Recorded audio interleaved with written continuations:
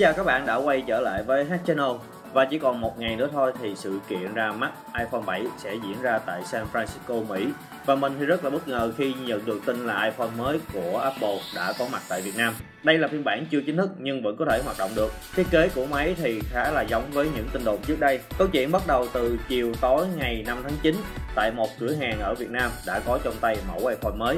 Đây là phiên bản 128GB, hiện không rõ có phiên bản 256GB hay không. Nhưng bên trong thiết lập camera của máy thì xuất hiện tùy chọn quay video 4K với tốc độ là 60 frame, tương đương với lại 600m mỗi phút. Thì với cái tính năng mới này thì có thể Apple sẽ nâng mức dung lượng tối đa lên 256GB Thiết kế của máy thì hoàn toàn trùng hợp với những tin đồn và hình ảnh rò rỉ trước đó. Giải anten được đưa lên hai cạnh trên và dưới của máy. Dắt cắm tai nghe 3 ly rưỡi thì đã biến mất, nhưng vẫn duy trì giải loa hai bên. Về phần phím âm lượng thì được làm thanh mảnh hơn. Và tổng thể thì iPhone 7 vẫn giống với những chiếc iPhone 6s nhưng được chăm chút hơn trong thiết kế. Tuy là đã loại bỏ dắt cắm 3 ly rưỡi nhưng so bằng mắt thường thì iPhone mới này không mỏng hơn so với chiếc iPhone 6s. Cảm giác cầm cứng cáp và chắc tay hơn vì có tin đồn Apple sử dụng chất liệu kim loại mới Riêng phiên bản màu đen trên iPhone 7 thì Apple đã áp dụng tông màu đen tuyền. Cả hai dãy loa thì được làm trùng với màu máy, khiến cho tổng thể trở nên độc nhất hơn. Bất ngờ lớn nhất trên iPhone 7 là nằm ở phím Home. Trên model mới này thì Apple đã bỏ phím Home truyền thống và thay vào đó là phím dưới dạng 3D touch. Người dùng không thể nhấn lúng xuống như trước nữa mà thay vào đó là khi mà nhấn phím Home thì chúng ta sẽ cảm nhận được một cái lực nhấn.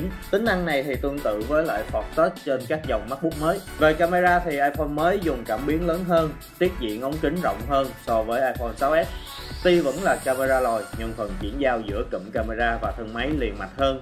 Đèn flash thế hệ mới với 4 tông màu, thay vì hai tông như là trước đó. Bên cạnh đó thì khay sim của iPhone mới có thêm phần viền cao su. Chi tiết này hé lộ iPhone mới có một cái khả năng chống nước Điều đáng tiếc là Apple vẫn chưa trang bị hai SIM cho dòng model cao cấp của mình như các đối thủ. Về phần mềm thì chiếc iPhone mới này dùng hệ điều hành iOS phiên bản 10 gần như là chính thức. Giao diện giống gần như là trăm phần trăm so với phiên bản beta. Siri trên model này thì vẫn chưa hỗ trợ tiếng Việt và các ứng dụng cơ bản như camera, note hay là màn hình chờ thì không có thêm tính năng gì mới. Mọi chuyện sẽ trở nên sáng tỏ hơn khi sự kiện giới thiệu iPhone mới được diễn ra vào lúc 0 giờ sáng ngày 8 tháng 9 theo giờ Việt Nam. Chúng ta hãy cùng chờ xem. Bây giờ xin chào và hẹn gặp lại các bạn ở những video lần sau.